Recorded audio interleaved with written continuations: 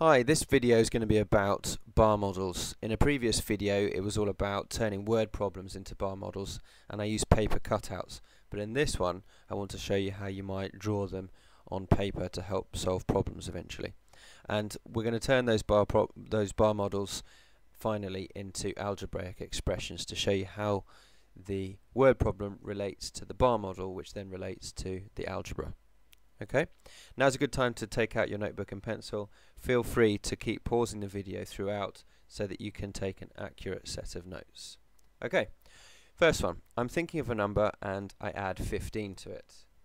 I'm going to use this red rectangle to represent the number that I'm thinking. I'm going to use the purple to represent the 15 that I've added to it. I think I might shrink that 15 down a little bit. Not sure how big the number that I'm thinking of is, but it doesn't matter too much. So then we start to get what looks like a bar model, bring that together, and then the last thing that I need to do is annotate it. So I know that this bit is 15, and that's what I've added on to the number I'm thinking of. I should label this, because otherwise people are going to want to know, do we know what it is? We don't know what it is, so I'll have to give it a letter, or a variable, and the most sensible one that I can think of would be an N for number. It could have been any letter of the alphabet, but um, I chose N. So, here we have the bar model. It represents N with 15 adding onto it. I hope you can see that. It's important that you can see what's going on there. And now if I write that as an algebraic expression, it would look like that. Simple. Okay, another example. I'm thinking of a number and I multiply it by 6. This is going to represent the number that I'm thinking of and then I multiply it by 6. So 1, 2, you see I'm multiplying it, I've multiplied it by 3 so far. In fact if I just double that, there we go. So that's what a bar model would look like if I had a number that I then multiplied by 6. Now again I need to label it and okay this time instead of using the letter N I'm going to label it with the letter U.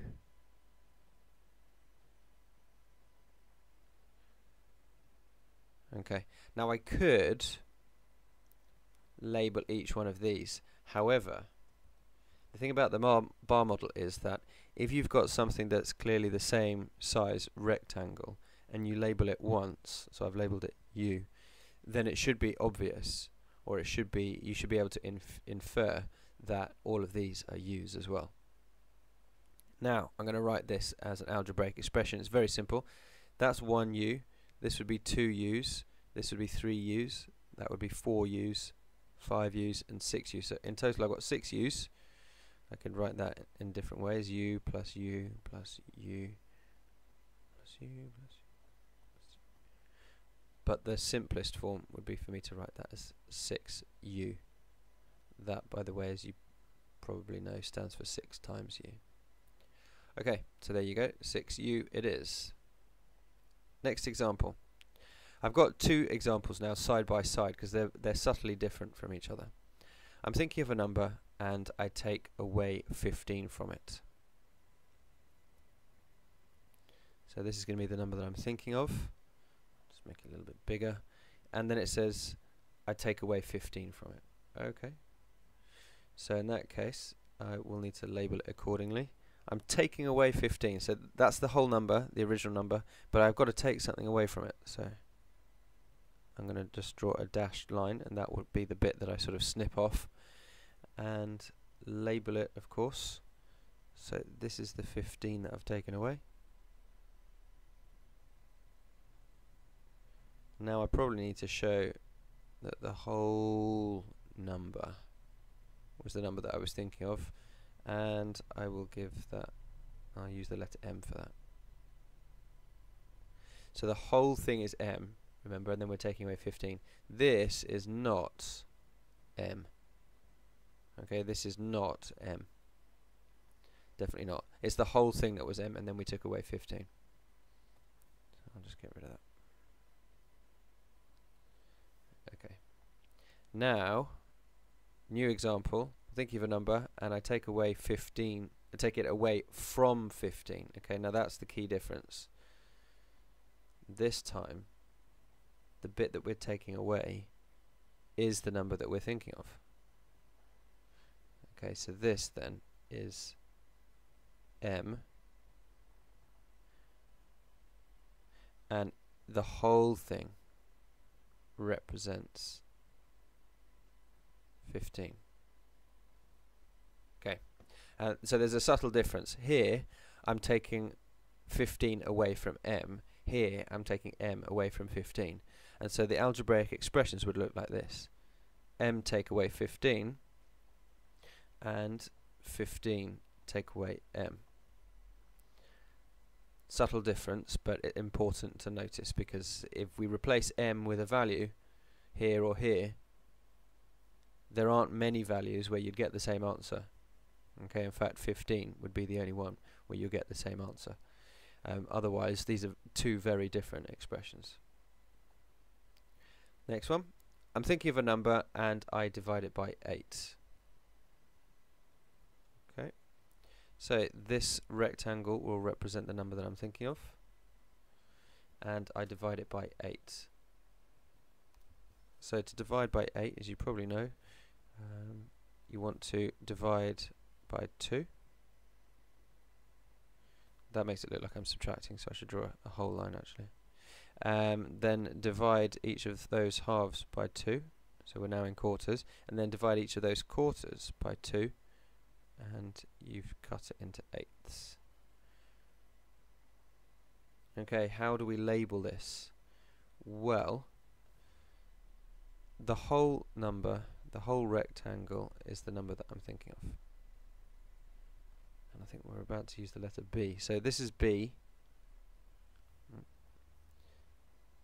That's B. And then it's been divided by 8. We don't actually need to label it anymore we can see that this is B and we can see that it's been chopped into or divided into eight equal parts. So I don't need to write, in fact what I shouldn't do is write 8, 8, 8, 8, 8 on all of these because I don't know that they're worth 8. I have no idea because I don't know what B was to start with. So in fact I can't label it any more than that. That's just perfect. In terms of an algebraic expression you can write this in a few different ways. You could write it as b divided by 8. You could write it as b over 8. Or you could write it as b times 1 over 8. I think this one would be my preferred one, b over 8. That shows that b is being divided by 8. But it depends on the situation. There are other times when you might want to pull it out as a multiplication, or you might want to write it out like that. Okay, next example. I've got two side by side again because there are some key subtle differences. So I'm thinking of a number and I times it by 4 and then add 5. So there are two steps to this. Here's the number that I'm thinking of. Okay, and it says I times it by 4. So 1, 2, 3, 4. So that's me having times the number that I was thinking of by 4 and then it says that I add 5. So let's put that there.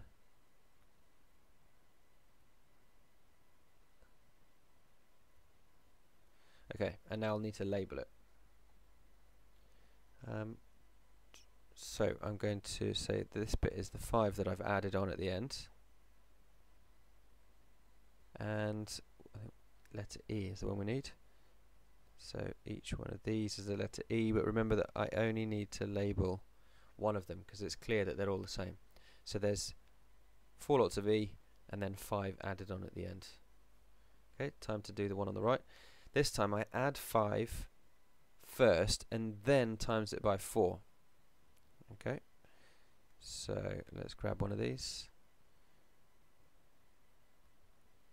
That's going to be the number that I'm thinking of and this is going to be adding 5.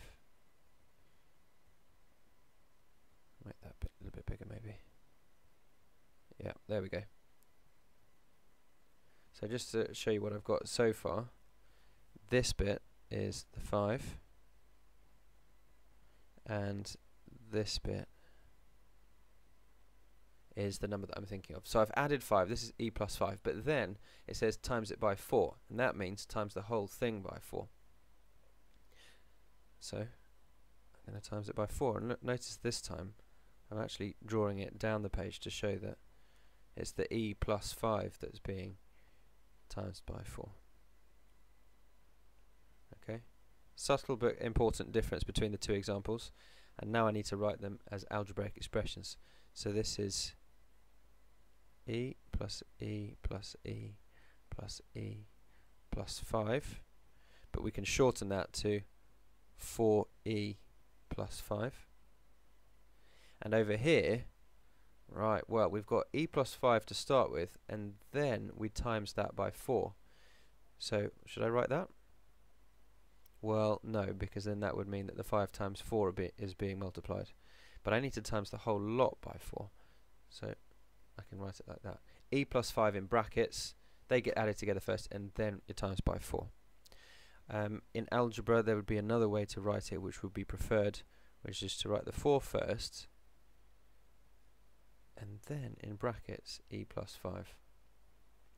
Notice that I didn't even write a multiplication sign between them. That's because in algebra you can get away with, as it were, not writing the multiplication sign between two things. So between a number and a variable, or between a number and a pair of brackets, if you don't write any symbol in between it, then everybody understands that you mean multiplication. Okay? There'll be another video on that. Right, another example to finish with. This time, I'm thinking of a number, I times it by 3, and then I take away 7. And then I times the whole thing by 2. Okay, let's see how this works.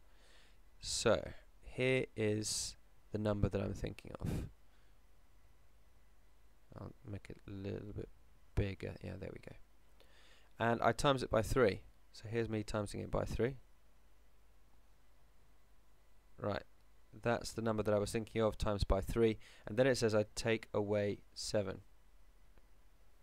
Okay, I don't know how big 7 would look compared to the size of each of these blocks, but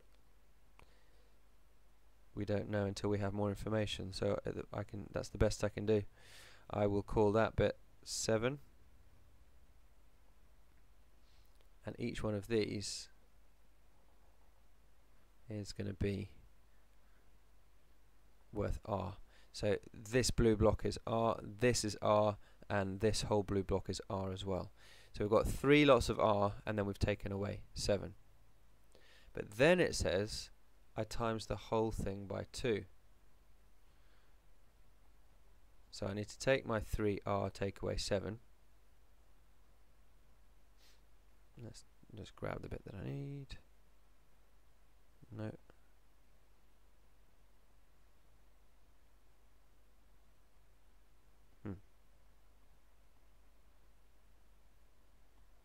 Right, grab the bit that I need and times the whole thing by 2. There we go. So there were three steps to that. Times r by 3, 1, 2, 3. Take away 7, and that's where we draw the dashed line. And then times the whole thing, everything that we just drawn, by 2. Okay, now it's time to write that as an algebraic expression. So if I follow the order that it's been explained to me in, times it by 3. So that's 3r, isn't it? Take away 7 times by 2. Except that it was the whole thing, the whole answer to 3 take away 7 that gets times by 2, meaning that I need to put brackets in. But the preferred way of writing it would be 2 brackets 3r take away 7. Close brackets. So reading this back again, and there's a follow-up video to this, I could say r times by 3, take away 7, and then times the whole thing by 2. Okay? Watch the follow-up video to how on how to interpret those algebraic expressions. Now it's over to you, and this is where I'm going to leave you with four questions. If you hover your mouse over each of these blocks, it will take you back and then you click it will take you back to the part of the video where I explain an example that looks very similar to these so what I want you to do is not to I don't I'm not going to ask you to fill in the form below with the bar models because obviously you can't draw them but you can write the algebraic expressions. So I'm thinking of a number let's call it n and then I add 6 to it. What I want to see in the form below is the algebraic expression of n with 6 added onto it. And here I want to see the algebraic expression when you've taken n and multiplied it by 9 and here when you times it by 3 and then add 10 and here when you take n you times it by 5 and then add 8 and then times the whole thing by 6 okay so you need to fill in the answers to each of those four in the Google form below. Okay thanks very much for watching bye